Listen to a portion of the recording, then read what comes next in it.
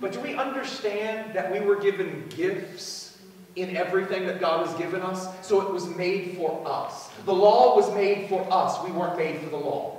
Here's what I mean. God didn't create the law and said, now you go fit into that. God knew our needs. He knew his desires. He knew his plans. And he made a law to point us to the grace that we would receive in the Messiah. And so there's this understanding that we are not bound to it because this is what it is. He made it for us to show us who he is so that he can do in us what he's always desired to do.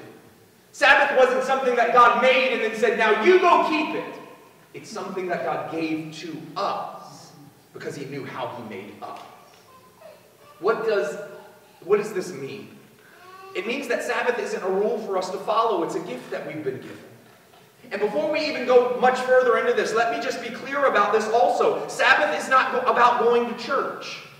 That's not what Sabbath is. When we, we now go to church because it's Sabbath. And please, I hope you know this Sunday is not Sabbath. Sabbath is sundown on Friday evening to sundown on Saturday evening. That is the Sabbath that God established and that has never changed. And so Sabbath is not when you go to church. Sabbath is a specific day with a specific purpose. It's not a day of public or corporate worship. It's a day of rest as worship. It's a day to remember the goodness of God, to depend upon the care of God, and to rejoice in the love of God. Think about what it was. On the seventh day, close your business. On the seventh day, don't go to your fields. On the seventh day, don't work your animals. In the seventh day, don't work for yourself, but trust that I, the Lord, am working for you.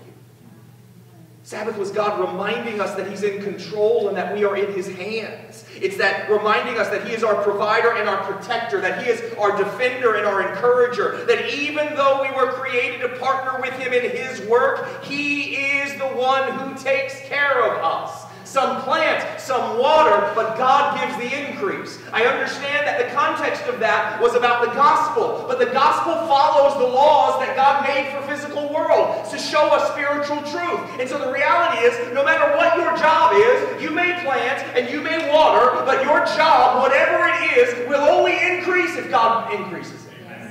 And so it's not up to us. It's always up to Him. And so we don't have to try harder and work smarter or put in more hours or give more effort. We have to trust His heart. Because if we trust His heart, we'll obey Him. If we trust His heart, we'll walk in His Spirit. If we trust His heart, we'll work in His Spirit. And He will accomplish whatever He desires. Sabbath is about remembering to be dependent upon God, to cast all of our cares on Him, because He cares for us.